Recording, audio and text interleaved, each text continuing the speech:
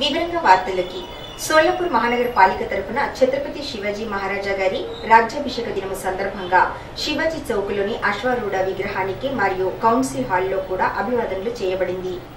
సోలాపూర్ మహానగర పాలిక తరఫున బుధవారము జూన్ ఆరవ తేదీన శివరాజ్యాభిషేక దినము సందర్భంగా శివాజీ చౌక్లో పుష్పహారము అర్పించి మేయర్ శోభా బన్షెట్టి గారు అభివాదనలు చేశారు. ఆ తర్వాత పాలికలోని ప్రశాసకీయ భవనంలో ఛత్రపతి శివాజీ మహారాజా గారి ప్రతిమకి పాలిక పదాధికారులు అభివాదనలు చేశారు. ఈ వేళ పరివార సభాపతి తుకారాం మస్కే నగర సేవకులు ఆనంద్ చందన్ శివే గురుశాంత్ దుత్తరగావ్కర్ సంగీత జాదవ్ జ్యోతి బమ్గొండే విజయ్ పుకాడే మోహన్ కాంబ్ళే భాస్కర్ సామ్లేటి అశోక్ ఖడ్కే మొదలగు వారు హాజరైనారు.